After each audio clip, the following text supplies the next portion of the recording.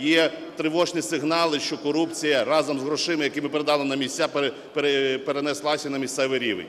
Дуже багато е, підрядів і капітальних видатків вже приймаються рішення щодо їх використання місцевими громадами. Тому треба зараз зосередити увагу на перевірці таких даних.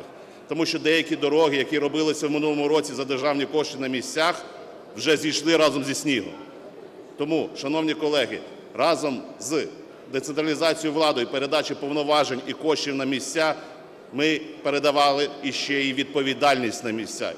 І представникам місцевого самоврядування треба усвідомлювати, що вони теж відповідають на місцях, тому що дуже добре кивати на Київ, а самим вночі робити свої темні справи.